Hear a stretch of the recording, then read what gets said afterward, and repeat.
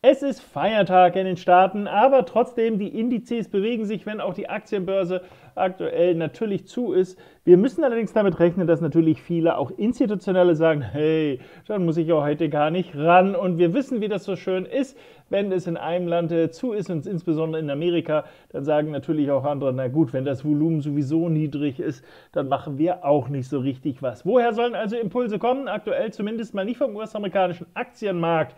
Das können wir schon mal sagen sagen und äh, folgerichtig ist das, was wir heute seit nachts, also heute Morgen im Prinzip hier sehen beim Nasdaq, Nasdaq Future wohlgemerkt, also der Index ist ja zu natürlich, aber ist das eine Aufwärtsbewegung? Yep, soweit der gute Teil, aber eine noch relativ leidenschaftslose Gegenbewegung, würde man wahrscheinlich sogar sagen, aufgrund dieser vielen Rücksätze, die ja doch ausprägungsgemäß ah, zu groß ausfallen gegenüber der starken oder eben nicht starken Aufwärtsbewegung.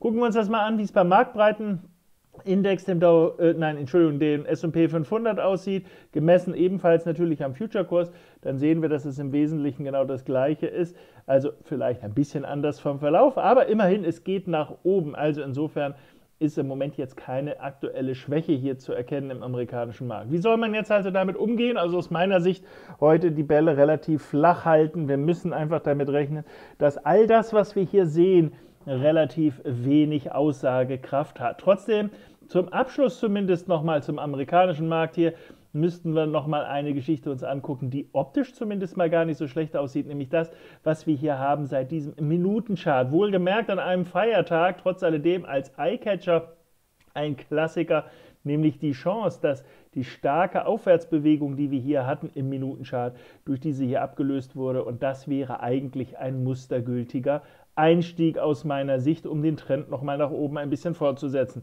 Ist das tatsächlich so? Na gut, es ist im Prinzip so ähnlich, wie wir das hier haben und dann ganz klar wackelig hier die Abwärtsseite und nochmal die Trendfortsetzung. Das Prinzip ist also relativ einfach und scheint offensichtlich auch an einem Feiertag zu funktionieren.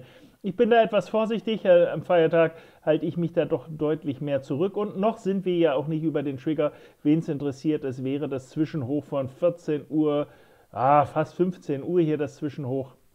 Das wäre ein möglicher Trigger hier für die Long-Seite.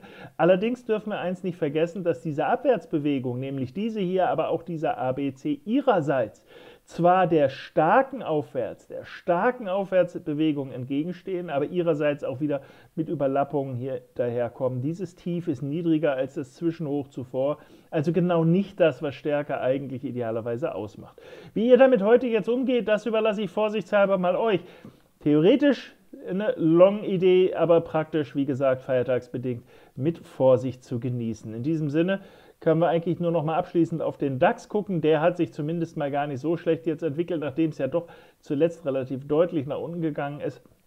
Also auch hier die positive Tendenz. Allerdings machen wir uns nichts vor, ob der DAX heute noch irgendwas reißen kann, denn der ist ja schon fast durch und an einem Tag, wo eigentlich keine externen Impulse aus Amerika kommen, wo wir doch wissen, dass der Markt ja doch einerseits von der Fed und der Geldflutung, auf der anderen Seite natürlich von den großen Fangtiteln hier äh, bewegt wird, ebenfalls mitgerissen wurde.